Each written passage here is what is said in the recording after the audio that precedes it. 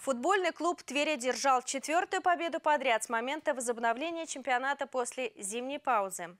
В матче 20-го тура профессиональной футбольной лиги команда Вадима Гаранина на выезде обыграла московскую «Казанку». Счет в матче открыли гости. В самом конце первого тайма арбитр назначил пенальти в ворота москвичей за фол на Игоре Турсунове. Удар с 11-метровой отметки исполнял Алексей Курзенев и был точен. А в самом начале второго тайма сам Турсунов довел преимущество тверичан до двух мячей. Ход оставшейся части игры преимущественно контролировали игроки Твери. Хозяева отвечали лишь редкими вылазками к воротам Дмитрия Герасимова. Тем не менее, в одной из таких в ворота Твери был назначен пенальти, который хозяева реализовали. Итоговый счет 1-2. Тверь увозит из Москвы очередные три очка.